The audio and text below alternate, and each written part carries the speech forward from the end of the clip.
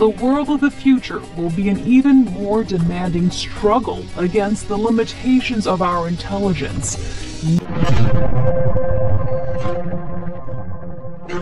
Not a comfortable hammock in which we can lie down to be waited upon by our robot slaves. As technology reaches new heights, and artificial intelligence came along and eventually merged with robotics, some think it's a match made in heaven. But many are concerned. As AI driven robots become more intelligent and more autonomous, will they outsmart us?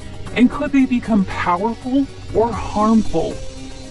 But what should we humans expect as we begin to accept the presence of AI robots in our everyday life?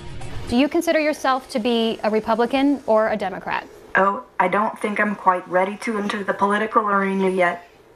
Let's just say I'm a robot with a heart of gold.